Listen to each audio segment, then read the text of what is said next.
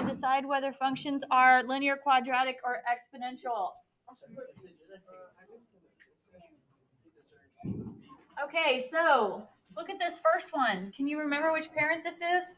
Linear. It is linear. Um, do you remember what the equation is for linear? Y equals. Yes, but for the parent, it's just x.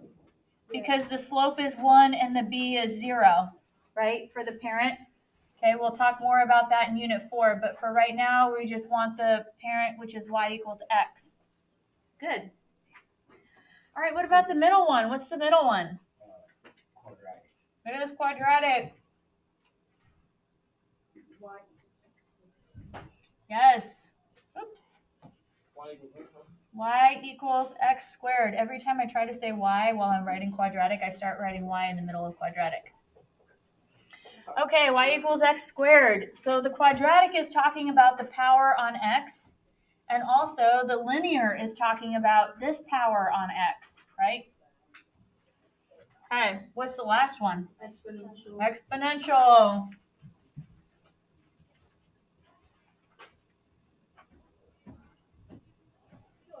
Okay, this is the toughest equation. Two X. Yeah, y equals 2 to the x. So the exponential is talking about x being in the exponent. That's a lot of x's.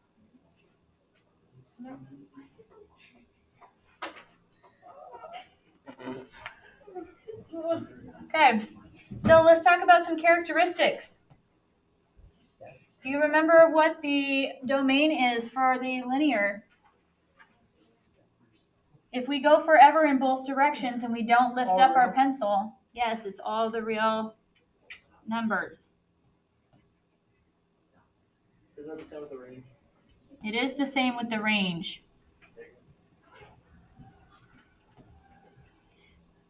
Because the y's go forever in the positive and negative y direction. And the X intercept and the Y intercept are zero. They are both zero, zero, both the origin. Good. Because that's our x and y intercept. They happen in the same spot for the linear parent. All right, what about for the quadratic? What about the domain? All real. All reals because it goes forever to the left, forever to the right. Okay, all the real numbers. Oops, numbers, numbers with a B, numbers, not numers. What about the Y? All real numbers greater than zero. Greater than, can it or equal? If I look at this, Yes. greater Yes. than equal. okay, so it's Y values greater than or equal to zero.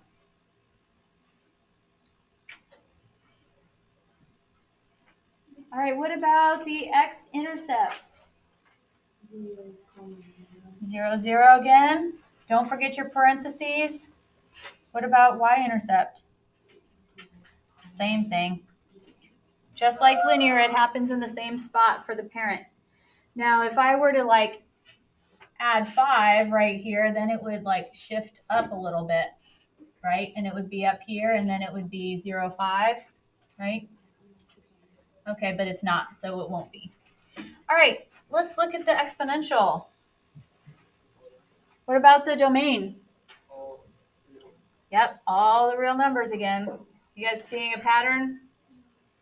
No? Yes? Okay, so it goes forever to the left, forever to the right. Okay, there's no breaks. All real Y values. Okay, greater than zero. Yes, so it's y values that are greater than zero. So this one is greater than or equal to. This one is strictly greater than because what we have on this graph is something called a horizontal asymptote. It's really fun to say because it sounds like you're about to swear, but you don't. You're just saying math vocab.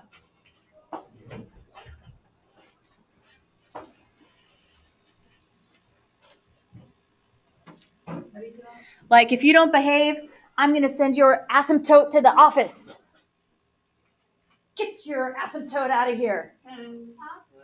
No, not funny. Oh, I heard the first- Well, that's what I'm saying. It sounds like you're going to swear and get in trouble, but then you don't because you're just saying math words. It's mm-hmm. hilarious. If I were to say that. You. If you said asymptote, no, you wouldn't get in trouble. It's it's a loophole. Are you guys familiar with loopholes? Yes. Okay, well, this is a very dangerous conversation. We're going to get out of this right now. All right, so x intercept. Do we have one? Uh. Are we ever touching the x axis? No. No, because we have this horizontal asymptote right here that we approach but never touch. Okay, so this is none because of the asymptote. All right, what about y-intercept? Zero comma one. Zero, one, good. Right there. So it's the only one that's not at the origin. Okay, questions for me so far? Okay. So, guys, we're going to meet some more members of the families today, but you will be able to tell by looking at the powers to which family these belong. So, if I see this little X in the power, what do I automatically know his family is? What function type is he? Yeah, look at the parents. He's exponential.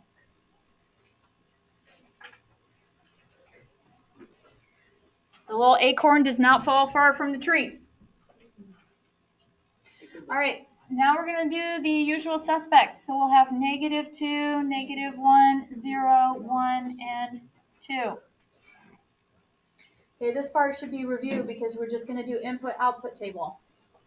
So I'm plugging it in. So I want g of negative 2, which is equal to 4 times 1 half to the negative 2 power. Okay, let's write them and then we'll put them in the calculator, okay? Instead of going back and forth. So g of negative 1 equals 4 times 1 half to the negative 1 power. g of 0 equals 4 times 1 half to the 0 power. I'll show you a calculator trick when we get there. g to the first, sorry, g of 1 equals 4 times 1 half to the first. And g of 2 equals 4 times 1 half squared. Okay, that was a lot. I'll give you a second to write it down.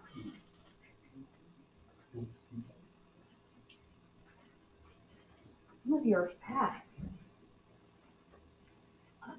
Some like math ninja assassins in here.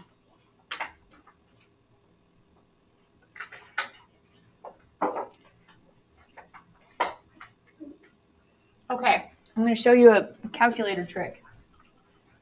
It's gonna be red. All right, you ready? Yeah. So the first one we have to do the long way. We got to do four open parentheses times one half, one divided by two, close it, do the power caret, and then put negative two up there. Okay? And we get 16. So go ahead and write that in your table.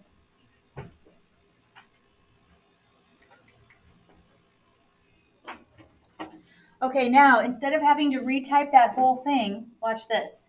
You can arrow up until it's highlighted in blue or whatever. Hit enter. And now if I go backwards, I can write over the negative 2 and put a negative 1 instead. That's even more red. Did you figure that out yesterday? No, I've known. I've just been making you do it the hard way so you would remember how to do it. Sorry. No. But you'll remember how to do it, right? Heather? Yes. Okay. So now I can do it again. So I arrow up, I hit enter, and then now I've got a negative in there that I don't want. So I can hit the little delete key, the del, get rid of the negative, and change the one to a zero. Boom. Oh, this is Woody.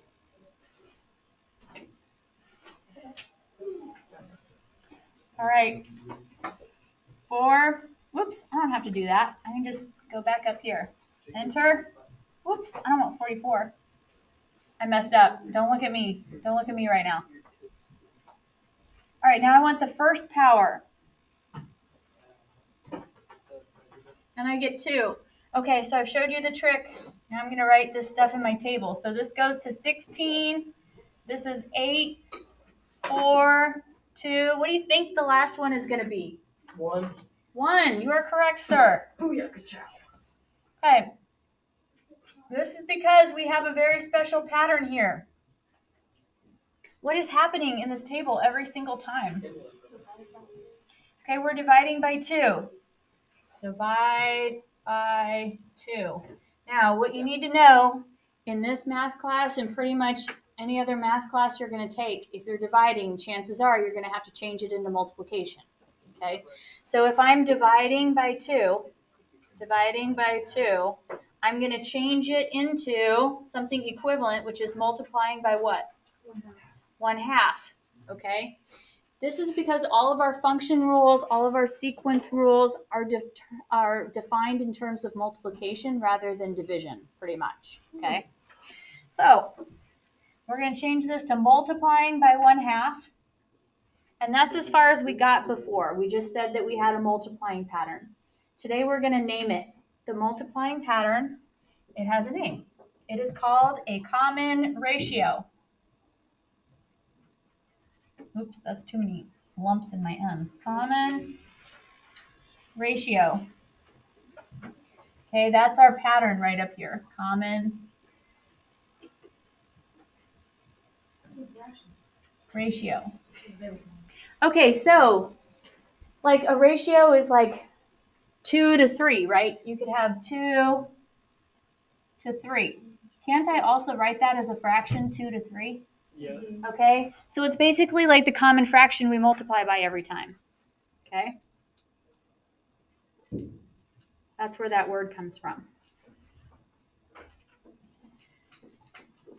So the name of our multiplying pattern is common ratio. Let's graph these points. So negative 2 goes to 16. That is all the way up here. Holy Hannah, way off the graph. Sorry about that. Negative 1 goes to 8. 0 goes to 4. 1 goes to 2. 2 goes to 1. Now, could we keep going? Multiplying by 1 half? Yes. What's half of 1? Zero point five. Yeah, 0.5. What's half of 0.5? Point two five. 0.25. So we're getting closer and closer and closer to 0, but we never actually get there. We just get a smaller and smaller fraction or decimal. Okay? Because what is hiding right there is my favorite word to say the horizontal asymptote.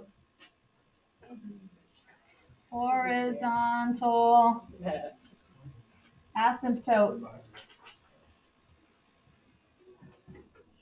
Okay, we're not going to have to do a whole lot with it in this unit. You just kind of have to be aware that it's there.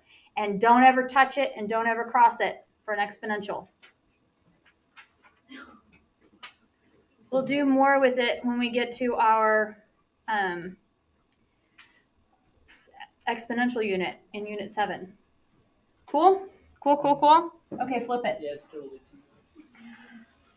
two. All right, check out this power.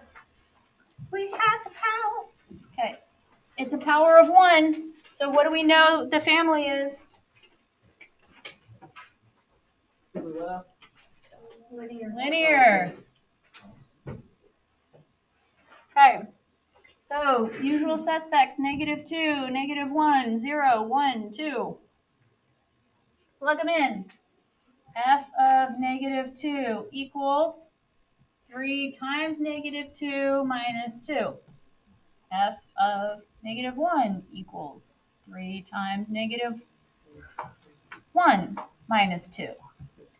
f of 0 equals 3 times 0 minus 2. f of 1 is 3 times 1 minus 2. f of 2 equals 3 times 2 minus 2. Okay, we're going to do a couple in the calculator to make sure we know how to do it, and then we're going to like stretch our brains with some mental math. Okay? So, 3, open parentheses, negative 2, close them, minus 2. This one's easy compared to the last one. Negative 8. If you don't want to retype the whole thing, you can do the arrow trick. Okay, and then just go back and change your negative 2 in the parentheses to a negative 1. Okay, everybody doing good with the calculator? Okay. So for the calculator, I got negative 8 and negative 5 on the first two. Now we're going to do mental math. What's 3 times 0? 0. Subtract 2. Negative 2. Okay, 3 times 1. 3. Subtract 2. 1. Okay, 3 times 2 is 6. Take away 2. 4. This is crazy. All right, it's pattern time. What is happening every single time? It goes up by three. So if we're adding three every time, that three has a special name. You know how we called the one half the common ratio? This one we're going to call a common difference. Why? I will show you in two seconds. Common difference. Is it because we subtracted? It's it's okay. I'll show you. in- Give me give me a minute. Okay, so if we kept this pattern going, we're going negative two, one, four. What's next? Seven. Seven, and then Ten. Ten. Okay, now if we do ten minus seven, because difference means subtract, right? What's ten minus seven? What's seven minus four? What's four minus one? Do you see they all have the same difference in common? That's why it's called common difference. Okay, we just have to subtract um, the previous one from the current one. Because if you do 7 minus 10, you're going to think it's negative 3. You have to make sure you're going ba- backwards when you're subtracting. Does that make sense? Okay. Okay, so it's called a common difference. It also has another name that we will talk more about once we get into our linear unit, which is unit 4, and that is a constant rate of change. Constant. Have you guys heard that before? Mm-hmm. Okay, that's associated with slope.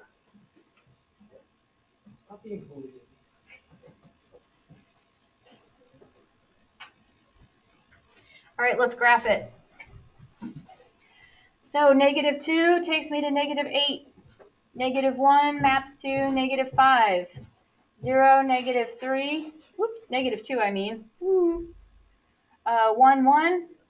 2 maps to 4. 3 would go to 7, and so on. Connect it with a straight line. Okay, arrows on both ends because it goes forever. And ever. And ever. And ever. Okay, now, really quick before we move on, look at this. Boom, boom. Up three, right one. Up three, right one. Up three, right one. Up three, right one. You see the pattern in our graph? Yes. Every time we get one bigger for x, we go up three for the y's. Okay? This is our slope. It stays the same. That's why it's constant. That constant rate of change, that's our slope. All right, next one. Ooh, I forgot to name the pattern. I forgot to write it up here. This is a common difference. Sorry.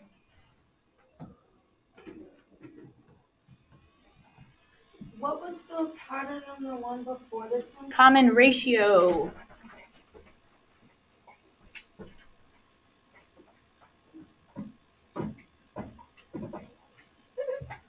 All right, this is the weird one.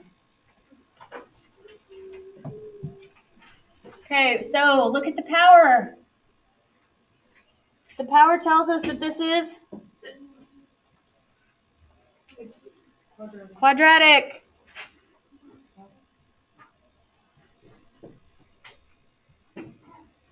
All right, usual suspects. Okay, plug them in. G of negative 2 equals G of negative 1 equals G of 0 equals G of 1 equals G of 2 equals.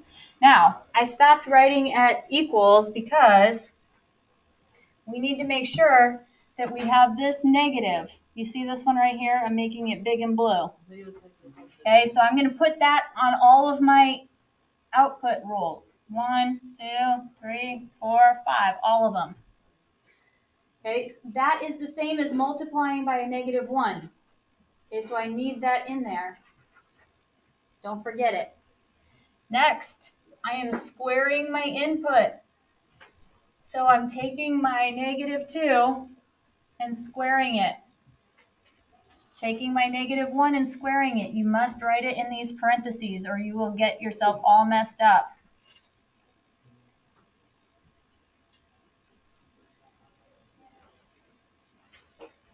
Okay, what's the last thing the rule tells me to do? Yeah, add 1. Okay, do you see that I have two different negative signs going on? Yes. Okay. Now the one in the parentheses is getting squared, so we'll have a negative times a negative that makes a positive. And then we've got the blue negative that turns it back negative again. So we've got three negatives in the first two of, do you see what I'm saying? Yeah. Okay, let's put these in the calculator, make sure we got it. First negative, opposite of, open parentheses, negative 2, close them, square it, add 1.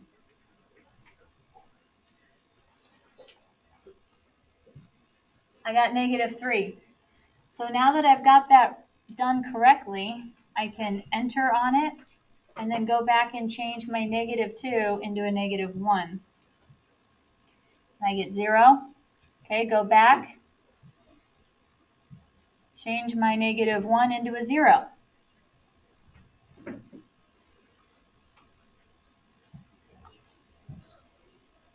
I get 1. Okay, now I'm going to go back and change my 0. Whoops, I just deleted it. When I did it, they gave me all of these numbers, but they're backwards. Like for negative two, I have five. Um, for positive two, I got negative three. Yeah, you will. Okay, so let's talk about why. So you should get negative 3, Zero, 0, one, 1. two, five. Okay, you should get 0 and then negative 3 again.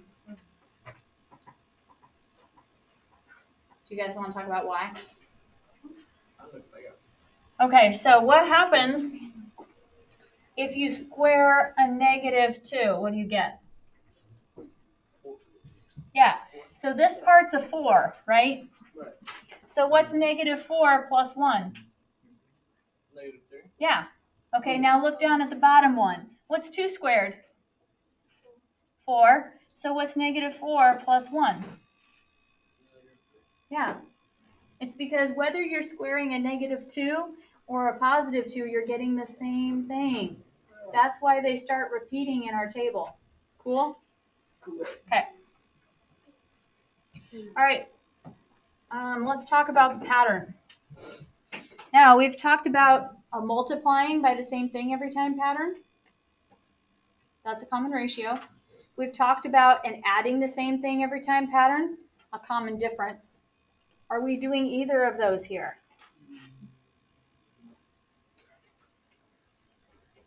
Hey guys, are we multiplying by the same thing or adding the same thing here? Um, Well, we're obviously not multiplying, right? Okay, so let's check out adding because it looks a little weird, but we're going to see if we can make it work.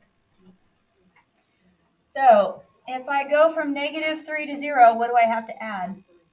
Okay, add 3. And then from 0 to 1, 1. And then from 1 to 0, subtract 1. Good. And then from 0 to negative 3, subtract 3. So we do not have a common first difference. Can we all agree on that? Yes. But it's a parabola, it's a quadratic with a power of 2. So let's look for a second difference. Okay, let's do it again. So from 3 to 1, what do we do? Subtract 2. Good. What about from 1 to negative 1? Subtraction. Subtract 2 from negative 1 to negative 3. It's pretty cool. Okay, so this special pattern right here, where if we do it twice and we have them matching ones, that is a common second difference. Common second difference.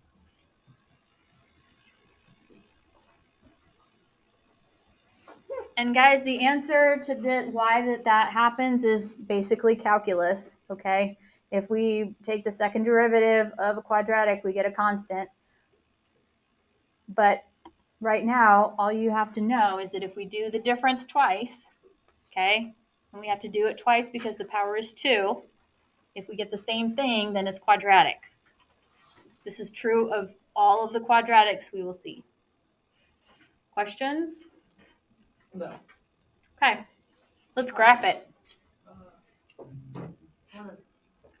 Okay, I like to start in the middle with the vertex. Do you see that I have a high point here at 0, 1? That's where I like to start in the middle. That's my vertex. And then it starts to go down on either side. So negative 1 is at 0, 1 is at 0, negative 2 goes to negative 3, 2 goes to 3, negative 3, sorry. Make it nice and round, but not like a bell. Okay? What I don't want is like any wingy dingy, like parabolas don't do that. You see what I mean? Yeah. Okay, they also don't give me goalposts. If it goes straight up and down, it's not a function anymore. So it should be getting a little bit wider, a little bit wider the whole time. So don't give me a bell and don't give me goalposts. Booyah. All right, last one. Coming down the home stretch. So for the classification, we're asking for the function type. So there are two things we have to do here. We have to determine if it's a function, has to meet the definition of a function. Relation where each input gets exactly one output, okay? And then we're gonna have to look for the pattern in the table to classify it. So first, does each input have exactly one output? Yes. Yes, so is it a function? Yes. Yes. Okay, now we're gonna look at the jumps. So from three to five, okay, from five to seven, okay, from seven to 11, plus four. Now it's something weird is happening here because look at my x jumps. From from negative one to zero, I have plus one, and then from zero to one, I have plus one. But what happened from one to three? Plus two. Plus two. So I skipped over a number. What's in between one and three? Two. Two. What's in between seven and eleven? Nine. So do you see that if I go from seven to nine, I'm still going plus two, and from nine to eleven, I'm still doing plus two. So what do you think? Common difference. Common difference, yes. So what type is this? Uh, common difference. Regular common difference. Yeah, so which family is it in? Linear. Which? Linear. Linear.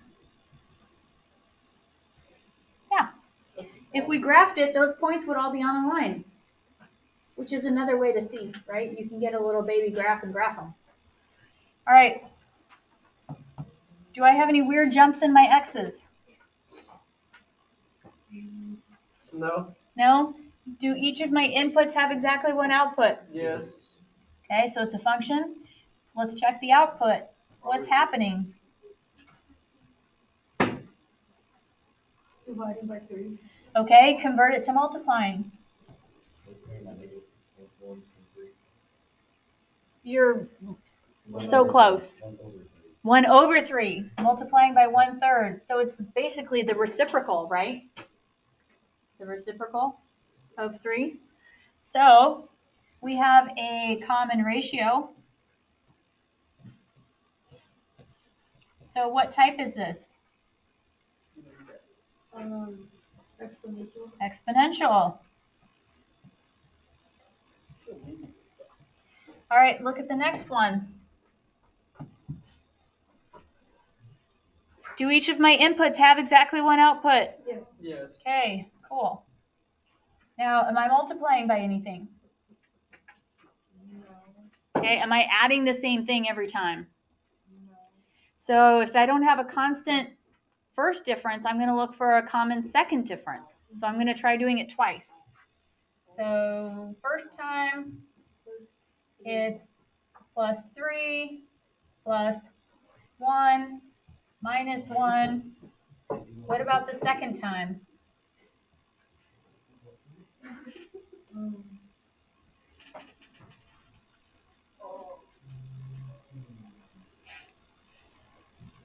From 3 down to 1, minus 2. And from 1 down to negative 1, minus 2. So I have a constant second difference. Wait, are we doing the second difference is it common or constant? Same. Okay, uh, so what type is it? Quadratic. Quadratic. Also, I thought it was.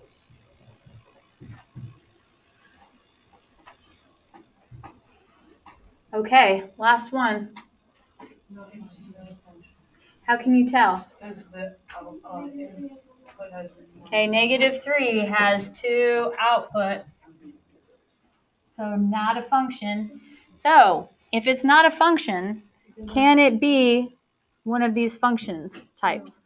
So it just starts with an R. Relation. Yep. A relation? Yep.